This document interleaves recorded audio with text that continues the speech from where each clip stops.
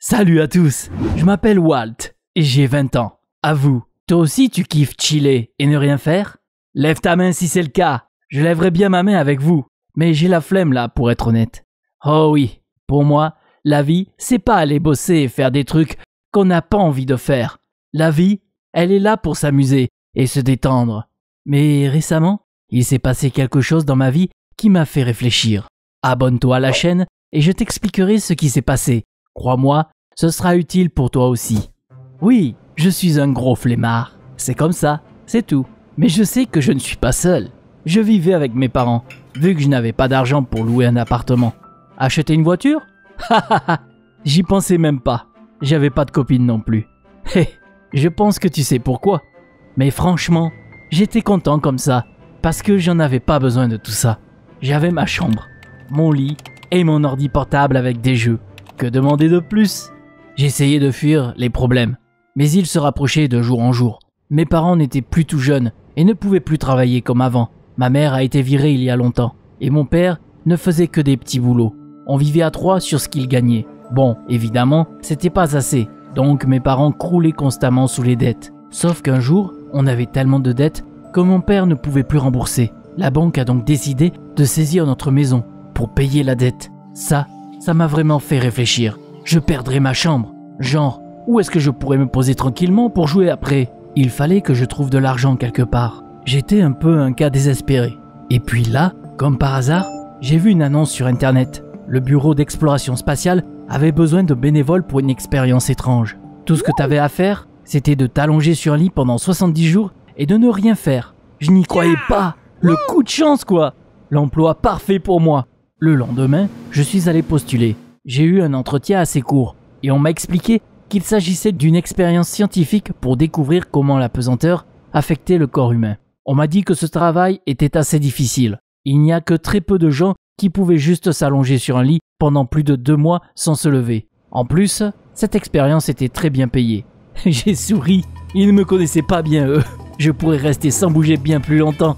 Donc, j'ai pas hésité une seule seconde et j'ai signé le contrat. C'est là que mon travail a commencé. Ils m'ont allongé sur un lit, puis ils ont connecté plein de capteurs à mon corps. Un ordi portable dernier cri était posé sur une étagère suspendue juste devant moi pour que je ne m'ennuie pas. Je passais mes journées à manger de la pizza, des chips et à jouer à des jeux vidéo. C'était vraiment si dur que ça? Rester allongé pendant 70 jours? Pour moi, rien de plus simple. Bon, évidemment, il y avait des trucs un peu chiants, genre aller aux toilettes. Mais ça, je ne t'expliquerai pas.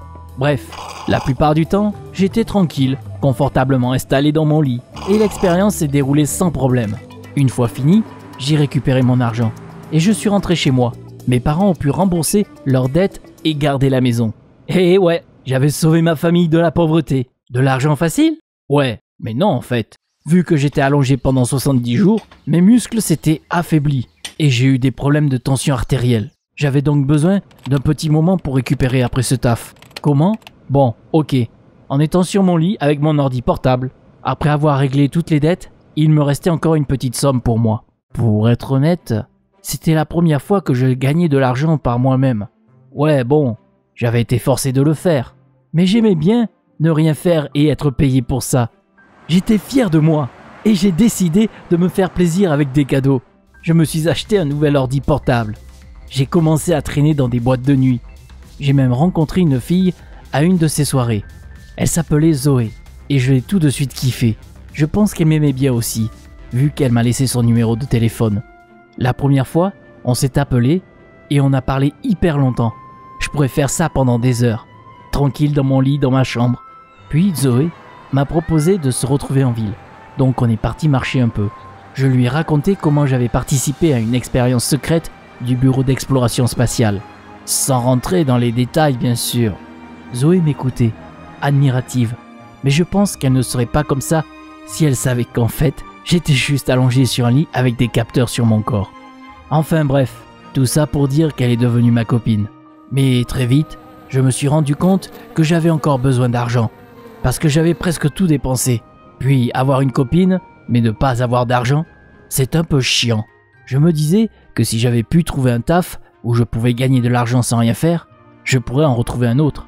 Vu que la seule chose que je pouvais faire dans ma vie, c'était d'être un gros feignant. un feignant professionnel, je dirais même. Donc j'ai commencé à trouver tous les tafs sur internet où je n'aurais pas besoin de travailler durement. Et tu sais quoi? Il y en a plein des tafs comme ça en fait. Premier taf que j'ai trouvé, c'était sur une île tropicale. Tellement simple.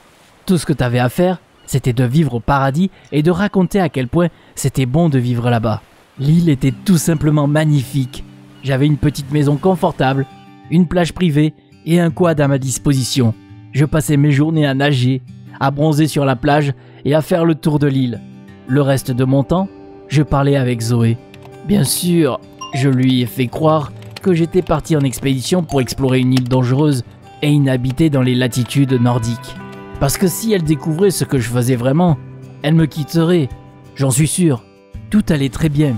La vie était tellement douce. Puis un jour, j'ai reçu un appel de l'entreprise qui m'avait embauché. Il me disait que j'étais viré et qu'un bateau allait bientôt arriver pour me ramener. Pour être honnête, j'étais pas vraiment surpris.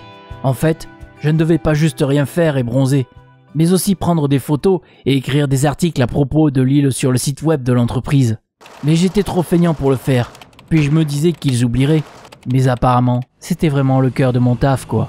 Donc ils m'ont juste viré. Je suis rentré à la maison sans argent et sans travail. Le pire, c'est que j'ai découvert que ma mère était malade, et que tout l'argent que mon père gagnait partait dans ses médocs. Donc je suis resté allongé sur le lit dans ma chambre, et j'ai réfléchi à autre chose. Zoé n'arrêtait pas de m'appeler et de me dire qu'elle voulait qu'on se retrouve. Sauf que je n'avais même pas assez pour l'emmener au cinéma. Je suis donc retourné sur internet pour retrouver un taf. Inutile de dire que ce serait un taf où je n'aurais rien à faire. Le lendemain, j'ai trouvé un taf de testeur de piscine. L'entreprise m'a embauché pour passer mes journées à nager dans leur piscine et à décrire mon expérience avec ces piscines. C'était tellement simple, je pouvais rester tranquillement dans l'eau. Donc me voilà dans la piscine en mangeant de la pizza et dormant avec mes lunettes de soleil. Mais une semaine plus tard, ils m'en viraient aussi. Mais cette fois, je ne comprenais vraiment rien, vu que j'avais bien fait mon taf. Mais apparemment, je polluais l'eau des piscines avec de la pizza et des chips, ce qui n'était pas photogénique apparemment. Les photos étaient tellement mauvaises que des clients n'achetaient aucune piscine que j'avais gérée. C'était vraiment chiant. Je commençais à me dire que je ne savais même pas comment être feignant correctement. L'argent de mes parents partait bien trop rapidement, et mon père a recommencé à s'endetter. Le pire, c'est que Zoé commençait à se méfier. Elle commençait à poser des questions bizarres, et se demander ce que je faisais. Il fallait que je trouve un taf tout de suite. Je suis donc retourné en chercher un. Dans la semaine, j'ai essayé plein de trucs différents qui payaient bien. J'étais testeur de lit dans un magasin. Je devais juste dormir et expliquer mes sentiments à propos de tel ou tel matelas. Mais j'ai vite été viré aussi, puis je suis devenu un câlineur professionnel. Tout ce que t'avais à faire, c'était de faire des câlins à des gens qui en avaient besoin. Mais là, je suis parti tout seul. Vu que ça me dégoûtait de faire des câlins à des inconnus, il y avait aussi un taf de testeur de yachts de luxe. Mais là, on m'a même pas pris, car la société voulait que des testeurs grands et musclés. Bref, en une semaine de merde, j'avais rien trouvé. Pendant ce temps, je n'ai pas vu Zoé une seule fois.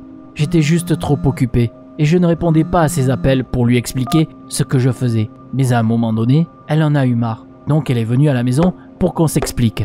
Malheureusement, je n'étais pas à la maison à ce moment-là. Donc elle a rencontré ma mère, qui lui a tout expliqué. Bien sûr, elle ne voulait plus rien avoir avec un menteur et un gros feignant.